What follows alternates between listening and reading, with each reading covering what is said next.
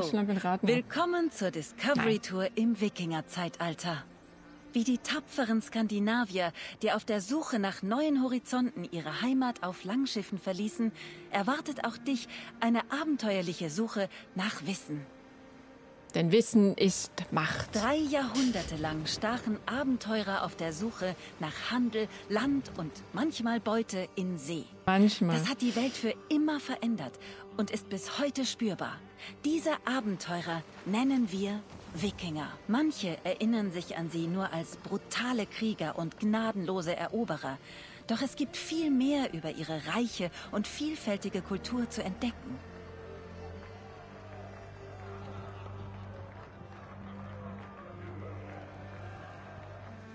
Die Geschichte erwacht für dich zum Leben.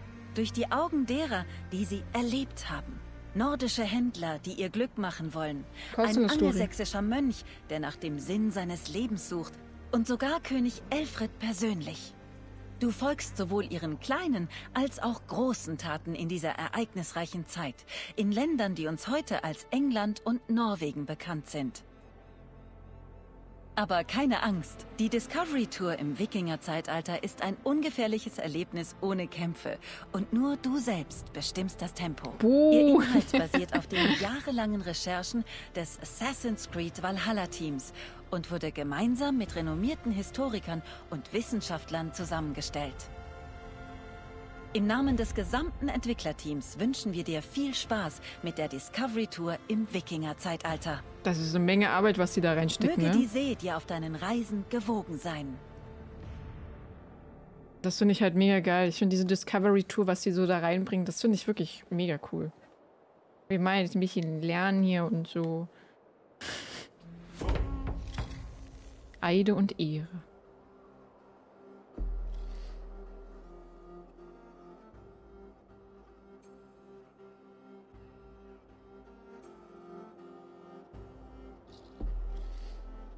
Doch bevor er aufbricht, muss er sich um seine Geschäfte kümmern und die Versammlung freier Männer besuchen. Also spiele ich jetzt jemanden nach oder was? Das ist auch neu. Das finde ich cool. Ich mag's, ich liebe das. Das haben wir in Odyssey auch gemacht. Origin habe ich halt, wie gesagt, aufgenommen. Da wurde auch über Py- Pyramiden und alles erzählt. Dein Vater wäre sicher bereit, auf den Hof zu kommen und zu helfen. Die haben das Du jetzt. wirst Monate auf Raubzug sein, nicht Jahre. Deine Handelsreisen sind länger. Das Gehöft und ich sind noch da, wenn du zurückkehrst. Und ich werde zurückkehren. Wenn nicht, komme ich dich holen. Trück, hast du noch irgendwelche Fragen, bevor ich gehe? Nein. Ich behüte Gunhildas guten Ruf, während du weg bist. Ich bezweifle, dass sie dabei Hilfe braucht. Und doch ist es gut zu wissen, dass du hier bist. Komm, Thorstein. Der Markt wartet auf niemanden. Ich komme, meine Liebste. Das, das ist jetzt aber neu, so, so eine.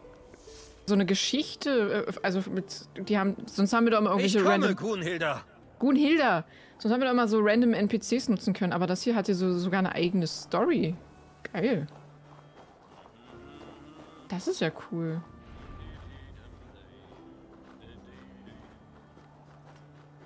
Hallo Godmoon.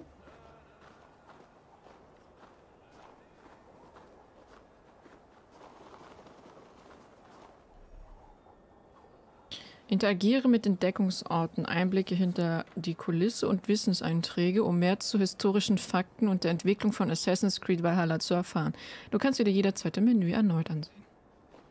Nein, das ist kein DLC. Das gehört äh, zu Assassin's Creed einfach dazu, diese Discovery Tour. Das ist, äh, das bringt dir immer ein halbes Jahr, Jahr später rein. Liebster. Er ist ein Mann, kein verirrtes Kind. Sklav. So, Stavanger wurde als Naturhafen an der Südwestküste Skandinaviens erbaut. Es ist zwar nur ein wenig über seine Geschichte in dieser Epoche bekannt, doch das, was bekannt ist, inspirierte Schlüsselereignisse von Assassin's Creed Valhalla. Eieiei. Man sagt, dass die berühmte Seeschlacht am Harfrisfjord, ich kann es nicht aussprechen, im späten 8. Jahrhundert nahe Stavanger stattfand. Darin stellten sich Harald Schönhaar gegen ein Bündnis von Kleinkönigen, welche den Machtaufstieg des jungen Jarls verhindern wollten. Unter Haralds Beratern war ein Mann namens Kjotvi, der, Rach, der Reiche. Jarl von Akder äh, Ekta. Er stand Pate für den schändlichen Kjotvi, den Grausamen, dessen Taten in Assassin's Creed Valhalla die Spielenden auf einen Rachefeldzug, äh, die, die Spielenden auf einen Rachefeldzug schicken. Ich kann schon gar nicht lesen. Um Stavanger, ich, ich spreche das bestimmt auch falsch aus, tut mir leid, in Assassin's Creed zu erschaffen, ließ sich das Entwickler, Ent Entwicklungsteam von Handelsplatz in Kaupang, hier abgebildet, nahe der heutigen Stadt Oslo in Norwegen inspirieren cool. Sklaven reden, Gunhilda. Wenn er zu seiner Familie zurückkehrt und sagt, wir hätten ihn misshandelt, fordern sie mich vielleicht zum Zweikampf. Will er nicht hier.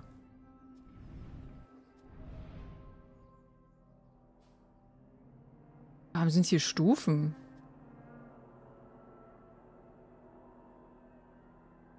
Neu. Wie cool ist das denn gemacht? Das ist einfach eine eigene kleine Map hier. Im Hauptmenü, im Discovery, ähm, das ist ein Discovery-Modus. Das ist im Hauptmenü. Ganz Keine unten. Zweikämpfe, bis du besser mit dem Schwert umgehen kannst. Neuer Wissenseintrag, warte mal. Alter, wie geil ist das denn? Wir sitzen eine Weile hier, sage ich euch jetzt schon. Wir sitzen hier eine Weile. Alltag 32 Sachen. 32 Krieg und Politik, Religion und Magie 22, 25, 14, 8, 12. Die von Odyssey hat auch irgendwie sechs Stunden gedauert. Ja, wir haben ja Zeit. Sicher genug Übung. Unsere Feinde kämpfen vielleicht nicht mit stumpfen Klingen, doch er hat mir versichert, dass sie lange nicht so wild sind wie die Kinder von Stavanger. Meinst du die Kinder, die dich gehauen haben, als du schliefst und dann lachend weggerannt sind? Falls ja, solltest du dich in Acht nehmen.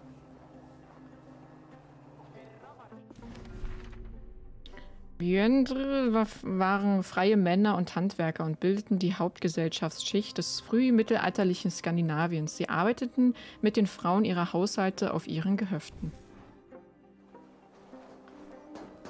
Das ist alles. Also die Discovery Tour ist jetzt komplett anders als die vorherige. Ich muss sagen, ich finde die richtig cool bis jetzt. Nice, ey.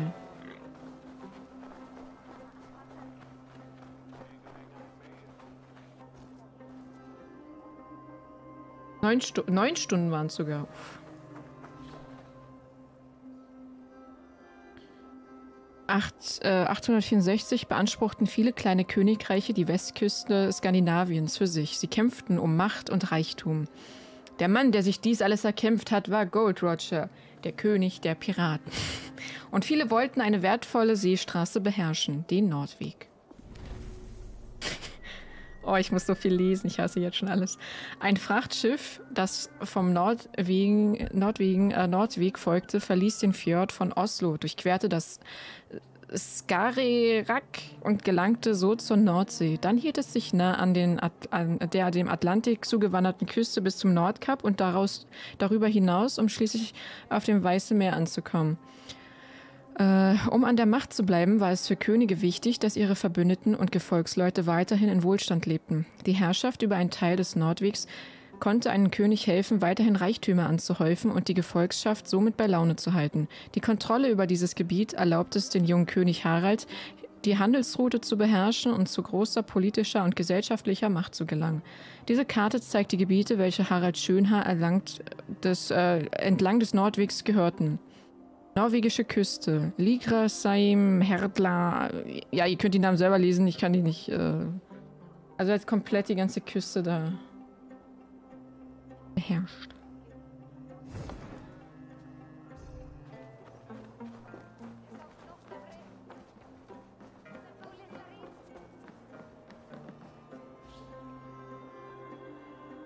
Ein Fehlag war ein, ein rechtlich äh, bindendes gemeinschaftliches Geschäftsbündnis. Er wurde vor zwei oder mehr Leuten gegründet und die Mitglieder wurden oft zu engen Vertrauten. Geil. Das englische Wort Fellow, Fellowship kommt aus dem altnordischen Fellag, Fellök, wurden aus verschiedenen Gründen gebildet, darunter der Bau eines Bootes oder die Finanzierung einer Seereise. Auch ein verheiratetes Paar kann so bezeichnet werden. Ein Felag war äh, wie eine zweite Familie. Jeder Felagi wie die Mitglieder solch einer Gemeinschaft genannt wurden, beschützten die anderen und ihre Interessen. Wurden, wurde ein Felagi getötet, übte einer der anderen Rache, kümmerten sich um die Bestattung oder ehrten das Andenken durch Aufstellen eines Runsteins. Diese Runstein, dieser Runstein wurde von drei überlebenden Mitgliedern eines Felags aufgestellt, um ihrem Partner zu gedenken, äh, den sie den unschändlichsten aller Männer nannten. Interessant, das wusste ich jetzt auch noch nicht.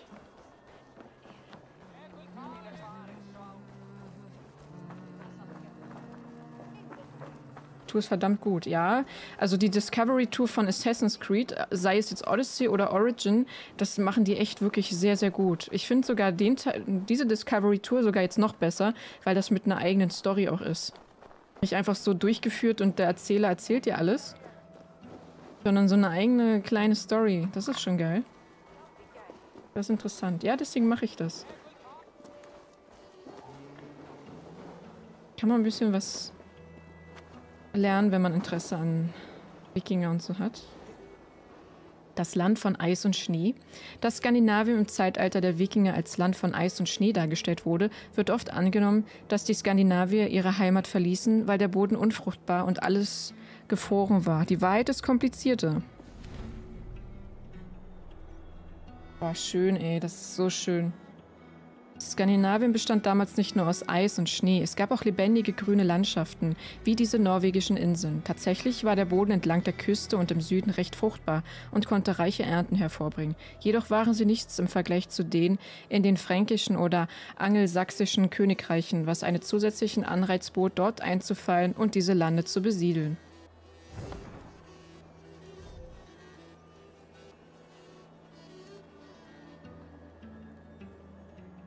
Ja, das kann gut sein, Project. Ja, ich, brauche, ich muss nur die Aussprache wissen, dann ist alles gut.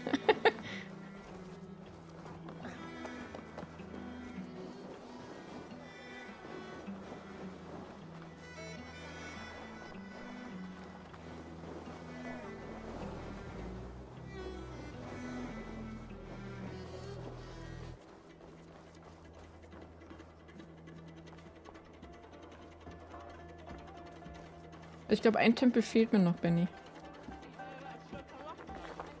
Alltag. In Skandinavien des Mittelalters erfreute man sich an Spielen und anderen Freizeitaktivitäten. Diese Sportarten waren jedoch kein reiner Spaß. Sie waren eine Gelegenheit für die Teilnehmer, ihr taktisches Können, ihren Verstand und ihre körperliche Kraft zu trainieren.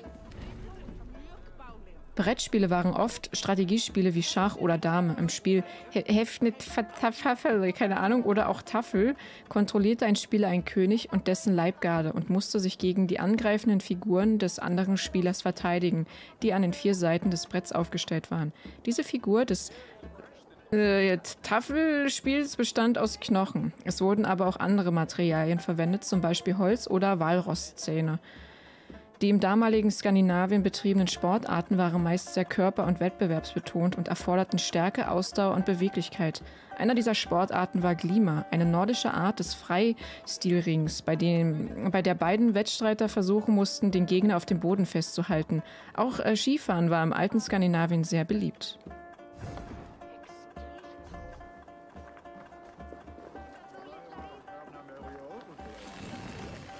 Figur freigeschaltet. Gunilda. Geil. Wie man ein tausend Jahre altes Brettspiel wiederbelebt. Auch Krieger dürfen mal spielen. Tatsächlich scheint es so, als hätten Wikinger Brettspiele gespielt, bei denen kleine Objekte geworfen wurden, etwa geschnitzte Holzfigürchen. Doch unser Team konnte leider keine klaren Regeln für solche Spiele finden. Aber die Entwicklerstudios aus Singapur, Chengdu und Montreal gaben die Hoffnung nicht auf. Sie entwarfen gemeinsam neue Regeln und testeten sie in einem Brettspiel-Simulator. Das ist sehr praktisch, denn da können die Verlierer nicht mit Figuren um sich werfen. Das ganze Team konnte die Entwicklungsschritte von Urlock 2.0 miterleben und sich daran erfreuen. Dann wurde ein erster greifbarer Prototyp mit übermalten Würfeln angefertigt und das Urlock-Spiel wurde neu geboren. Und die Urlock-Version von Assassin's Creed Valhalla war so beliebt, dass sich Ubisoft mit Pure Arts zusammengetan hat, um echte Urlök-Sets zu produzieren. Ich will haben! Gib hier, ich will auch! Urlök! Huh.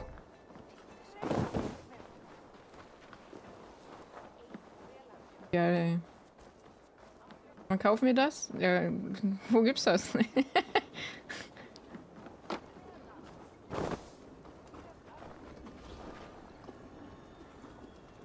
Religion und Magie. Ein Haminikia war der Geist der Familie und für ihr Glück und ihren Wohlstand zuständig. Der Haminikia verband jedes Familienmitglied mit den anderen. Glück konnte mit Familie und Freunden geteilt werden, heute aber seine, äh, hatte aber seine Grenzen. Die Haminigia mussten sorgsam und respektvoll behandelt werden. Wenn sich eine Person oder Familie schlecht verhielt, konnte sich ihr Glück wenden und ihr Wohlstand ein Ende nehmen. Die Legenden nach erschienen die Haminigia oft als riesige geisterhafte Frau, so wie in diesem Konzeptbild. Die bösen Geister-Ladies.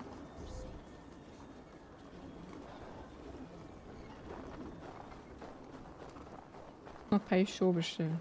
Amazon hatte das mal.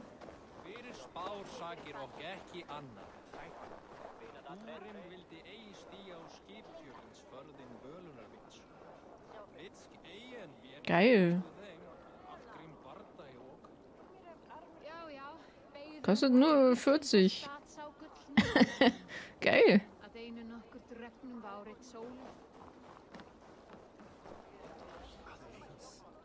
Runen waren sowohl magische Symbole als auch Buchstaben eines Alphabets. Wurden sie in einem Stein eingraviert, erschuf man damit einen Runstein.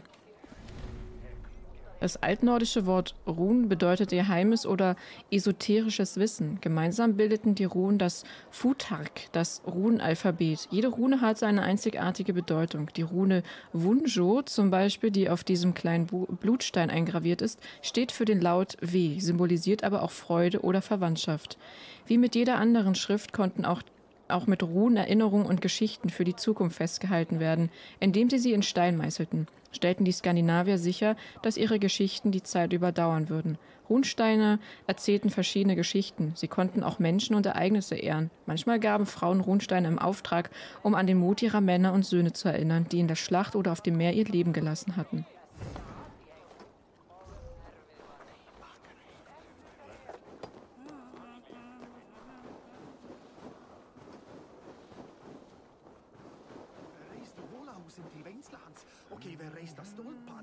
Ja, ich weiß noch, was das ist, Project.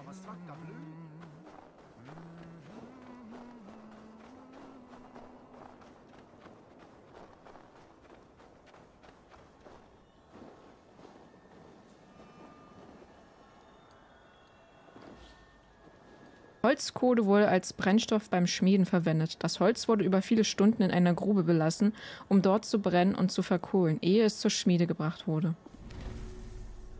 Wenn brennendes Holz Sauerstoff ausgesetzt ist, wird es zu Asche. Und das zu um das zu verhindern, bedeckten die Skandinavier ihre Feuergruben mit Torf, wodurch keine Luft zugeführt wurde. Dies stellte ihren Vorrat an Brennmitteln sicher. Hier ist eine moderne Nachahmung dieser alten Technik.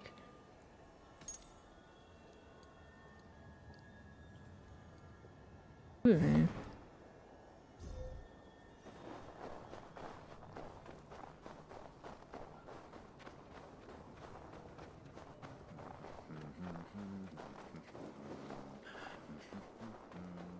Rein alandal thrigja systra fyrir.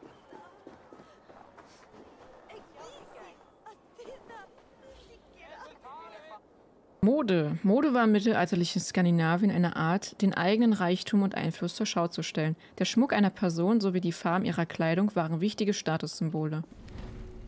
Textilien mit intensiver Färbung waren kostbar, denn das bedeutete, dass das Material mehrmals gefärbt werden musste. Da das Färben ein kostspieliger Vorgang war, war farbenfrohe Kleidung ein Zeichen für Reichtum. Manche Farben waren ganz der gehobenen Gesellschaft vorbehalten. Archäologischen Erkenntnissen zufolge wurden vor allem blaue Farbtöne fast ausschließlich von sehr reichen Menschen getragen. Schmuck war ein weiteres Zeichen für einen hohen sozialen Status. Je teurer der Schmuck, desto reicher sein Besitzer. Größe, Material und Qualität der Schmuckstücke bestimmten ihren Wert. Silber war das am häufigsten für Schmuck verwendete Metall. Gold wurde nur sehr reichen Personen äh, von sehr reichen Personen getragen. Aber auch gefärbtes Glas oder Steinperlen waren beliebte Modeaccessoires.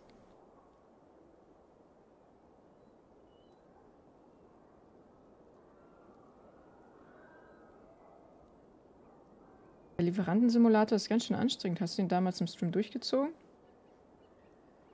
Ja, habe ich. Habe ich Tatsache.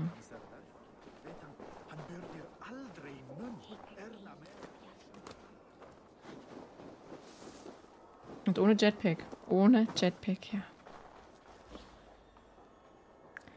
Die Familie war der Grundpfeiler der alten skandinavischen Gesellschaft. Die spirituelle und rechtliche Identität einer Person war mit der Familie und dem Erbe verknüpft. Familienmitglieder hatten mehr als Blutbande gemeinsam. Sie waren durch einen Geist verbunden, der Haminigia genannt wurde. Äh, das war früher für den Wohlstand und das Glück der Familie ähm, zuständig, also dieser Geist. Doch Familie zählte, auf, äh, zählte mehr als nur der spirituellen Ebene. Sie definierte eine Person auch in den Augen des Gesetzes. Regeln über, Regeln über zum Beispiel Landbesitz und Vererbung drehten sich eher um die Familie als um das Individuum. Eine Person, die ihren Vorfahren nicht kannte, war rechtlich nicht anerkannt. Es war üblich, die eigene Sippe zu ehren, indem man die Geschichten und Taten der Toten und auch die Lebenden auf den Runstein wie diesem verewigte. Die waren irgendwie viel mehr miteinander verbunden, das finde ich schon krass.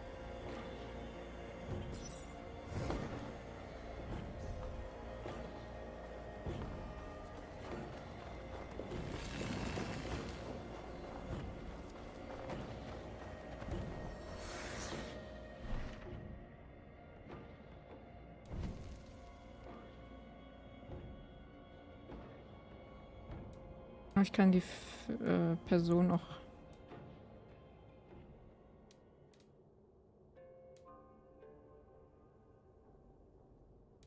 auch wechseln. Ich kann sogar Odin nehmen. Advi, Loki. Freya. Kann mit Freya hier rumlaufen und mit Thor. Kane.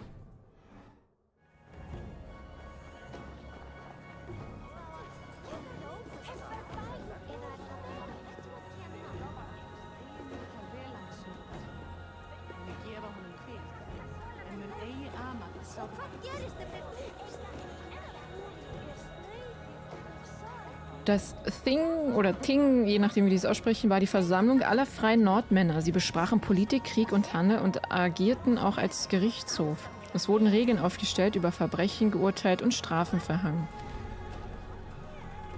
Äh, Tinge fanden das ganze Jahr über statt. Der Häuptling oder König hatte immer den Vorsitz. Ihm zur Seite stand manchmal ein Rechtskundiger, der Godi, der alle Gesetze auswendig kannte und ihn auch gelegentlich vertrat. Gesetze mussten erinnert werden, weil die Skandinavier zu jener Zeit keine schriftlichen Gesetzestext hatten. Jede freie, jeder freie Mann hatte das Recht, beim Ting oder Thing offen zu sprechen. Er durfte seine Meinung mitteilen, Fragen stellen und sich zur gesellschaftlichen äh, Themen äußern. Zudem konnte er Gerechtigkeit für Verbrechen oder Beleidigungen verlangen. Obwohl alle freien Männer das Recht hatten, angehört zu werden, konnten die wohlhabenden Mitglieder des Tingis ihren Einfluss einsetzen, um die Entscheidungen der Versammlung zu ihren Gunsten zu beeinflussen. Also ist er wie heute sozusagen, ne? Als die Skandinavier Island besiedelten, hielten sie ihren Thing auf den Tingewilli, ja, ich kann das nicht aussprechen, ab, dem Versammlungsfeld. Hier ist ein Foto, auf dem das äh, war oder so. Ja. Geil.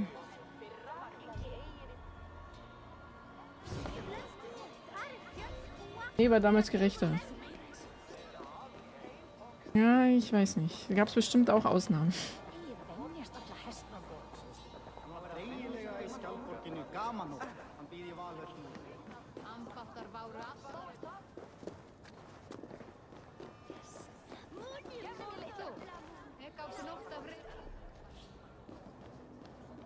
Die Erschaffung Avos. Oh, jetzt bin ich aber gespannt. Bei der Entwicklung eines Hauptcharakters zählt jedes Detail. Persönlichkeit, Hintergrund, Eigenarten. Eivor Wolfsmal musste eine sichtbare Narbe haben, sowie Tätowierungen, die für vergangene Erlebnisse, Glaubenssätze und die Clanzugehörigkeit stehen. Es wurde ein Moodboard mit verschiedenen Referenzen erstellt. Von Furiosa aus Mad Max bis Major Motoko Kusanagi aus Ghost in the Shell mit dessen Hilfe Lol. Konzeptzeichnungen und Entwürfe für die Form und Silhouette angefertigt wurden. Danach kümmerte sich das Character Modeling Team um Details wie Haare, Tattoos, Monturen und sogar Ledernähte.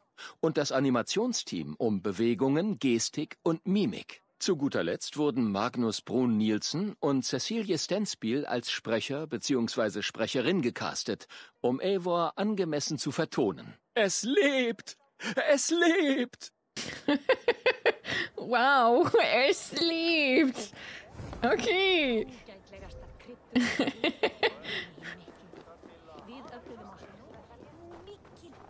Motoko-Sicht aber weniger drin. Man kann aber sehen, was, was sie da alles eigentlich für Arbeit reinstecken, aber die Umsetzung manchmal vom, vom Spielerlebnis her, also mit den Bugs und so, das ist halt das, was es da wieder ein bisschen kaputt macht. Das finde ich immer schade, weil die stecken eigentlich schon Arbeit rein.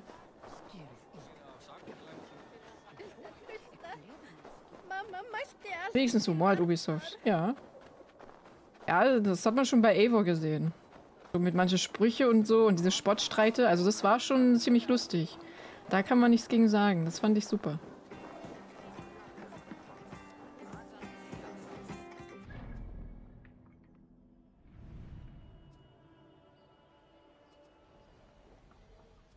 Oh, da oben ist noch eins. Kann ich da eine Schnellreise machen?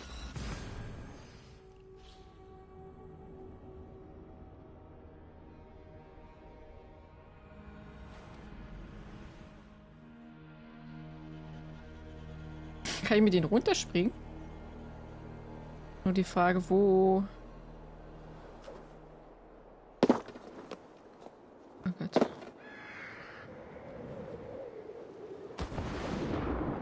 Ja, nice.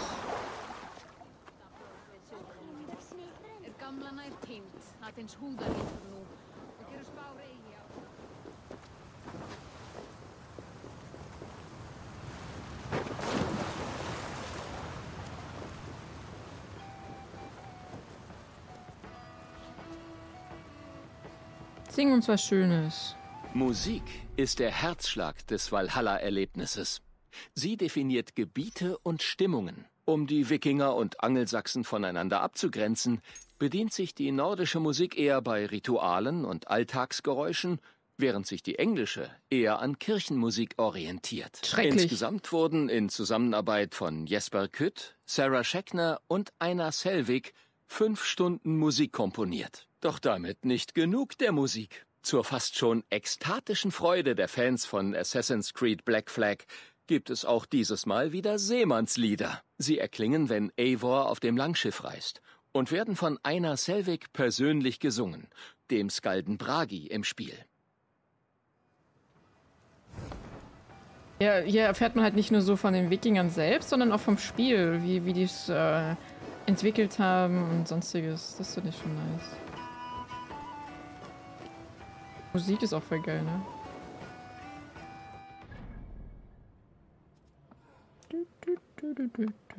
So, dann haben wir das noch und dann müssen wir Brunhilda folgen. Oder wollen wir das hier alles komplett... Ich will ja alles komplett sehen. Da muss ich jetzt hier aber runter, ne? Jetzt ein bisschen nach unten laufen. Aber ich darf ein Pferdchen holen. Mm-hmm.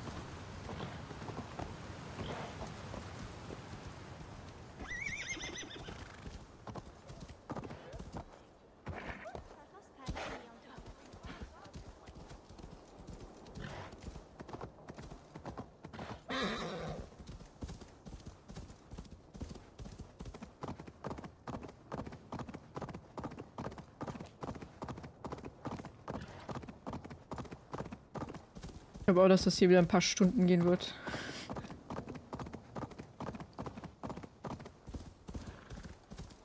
Aber das wollte ich ja sowieso machen. Passt also gut, dass das Crossover vielleicht doch nicht so lang war.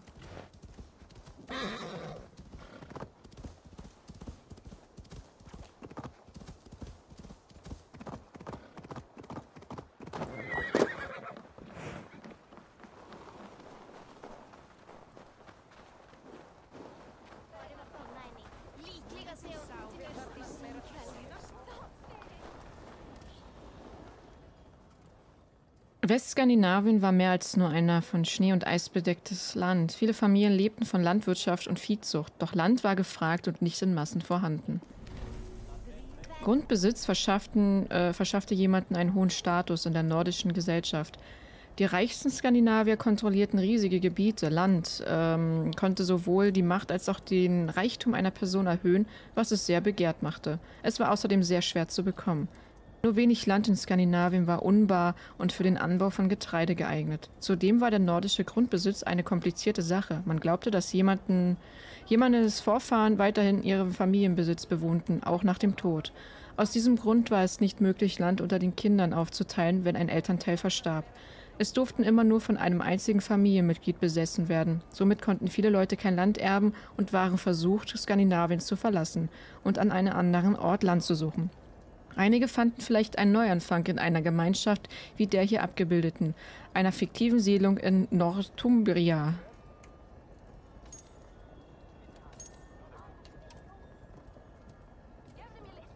Cool.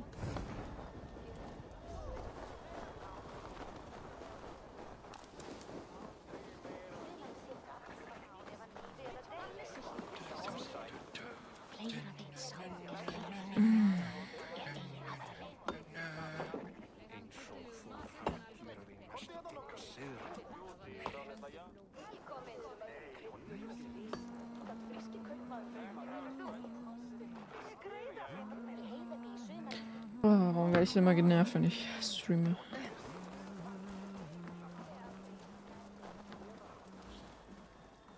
Körperpflege. Im mittelalterlichen Skandinavien achtete man auf das Aussehen, nahm gerne Bäder und pflegte Haare und Bärte. Männer schnitten und kämmten ihre Haare. Die Kämme, die sie dafür benutzten, waren von hoher handwerklicher Qualität und bestanden aus Holz, Metall oder auch Knochen, wie hier im Bild zu sehen. Außerdem flochten sie ihre Bärte und schmückten sie mit Perlen. Auch Frauen pflegten ihre langen Haare, flochten und frisierten sie. Sowohl Männer als auch Frauen badeten regelmäßig. Ja, das ist ja schön.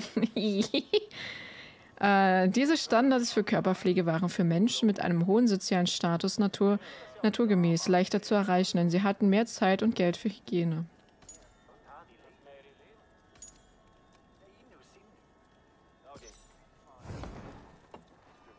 Aber glaube kann schon kacke sein.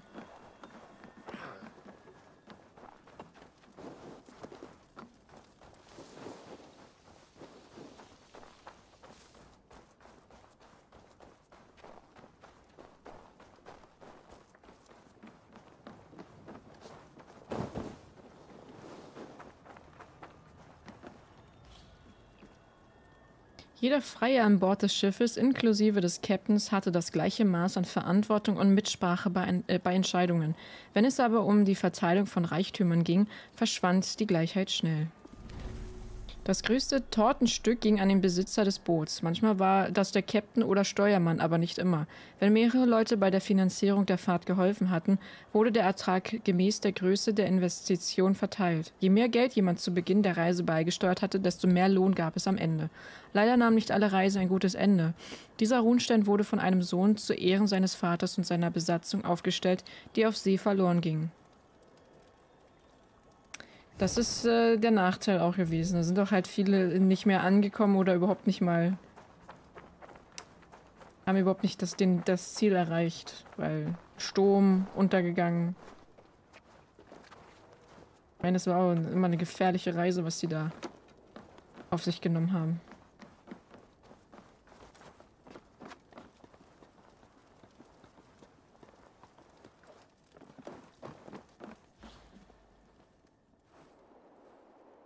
50 verschiedene Versionen, bis die richtige dabei war. Uiuiui. Bei der Medienpräsenz von Wikinger-Themen ist es schwierig, sich von den anderen abzusetzen. Deshalb war es für die Marketing- und Grafikteams von Assassin's Creed Valhalla eine große Herausforderung, einen eigenen Look zu erschaffen. Zusammen haben sie Logos und Wappen erstellt, Schriftarten, Farben und Menüformen ausgewählt. Schließlich standen 50 verschiedene Logos zur Wahl, um das passendste zu finden.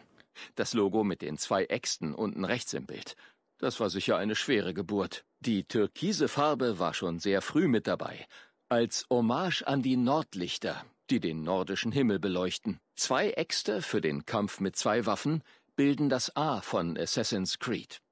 Am oberen Ende ist der Umriss eines Langhausdaches zu sehen, mit filigranen Gravuren, die die nordische Handwerkskunst hervorheben. Und das blasse Gitternetz im Hintergrund erinnert daran, dass das alles eine Simulation des Animus ist. Ja, ist schon eine coole Idee. Ich muss aber sagen, ich finde das links oben sogar noch cooler mit dem Raben. Erstmal, ja, wunderschöne Idee, aber der Rabe ist cooler.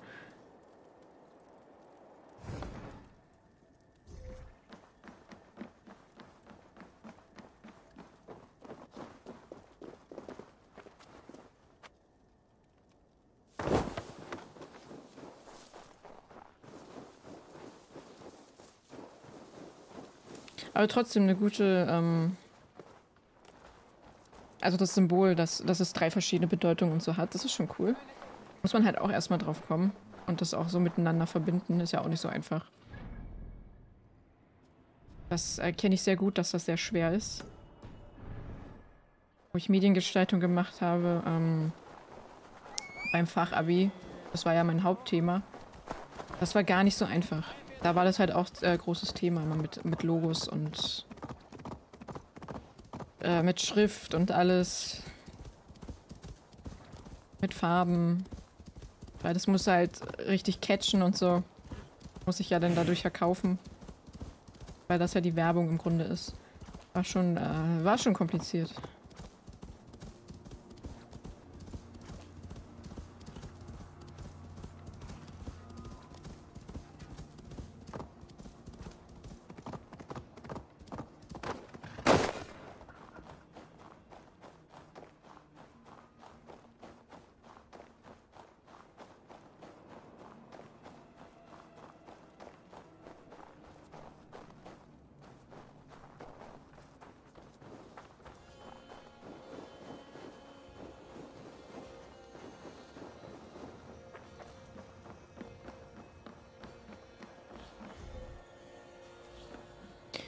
Alten Skandinavier glaubten an ein riesiges Pantheon mächtiger übernatürlicher Wesen. Diese Gottheiten unterstanden verschiedene Reiche, darunter auch das Meer. So wie der Ozean konnten Meeresgottheiten sowohl gütig als auch grausam sein. Viele Gottheiten beherrschten die Meere und Ozeane. Einer der wichtigsten war Njord, ein Gott aus dem Geschlecht der Wanen, Vanir.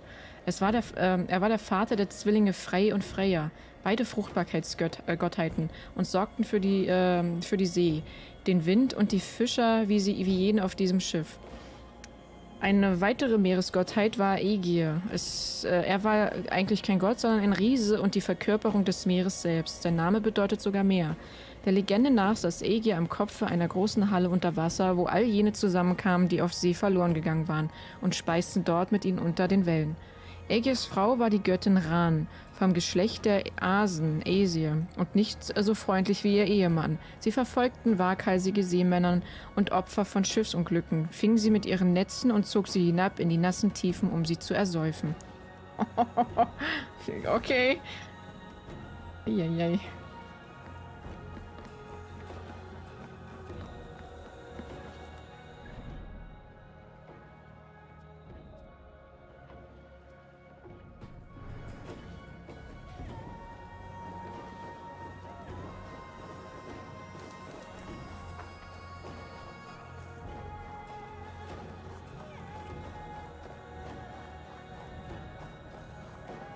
Alles PR. Ja klar, ich habe alles gelernt. Schnee, soweit das Auge reicht. Wunderschön.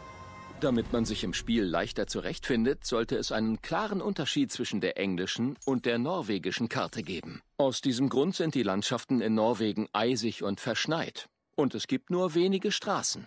Eigentlich ist Skandinavien gar nicht so karg, wie es oft dargestellt wird. Aber die raue Landschaft in Assassin's Creed Valhalla sollte dazu motivieren, schnell nach England aufzubrechen und Eivors Geschichte fortzusetzen. Hey, ich wollte in Norwegen Deshalb bleiben. haben sich die Grafik- und Level-Design-Teams an Bildmaterial von den Lofoten orientiert äh? und deren schroffe Landschaft als Referenz verwendet. Durch Ich ihre da gar nicht mehr und weg. Formationen vermittelt diese Landschaft Hey. ein bedrohlicheres Gefühl, während die englische Flora üppig und lebendig wirkt. Das Gras auf der anderen Seite des Meeres ist schließlich immer grüner. Buh, ich wollte mehr Schnee. ja, da richtig verkackt hier.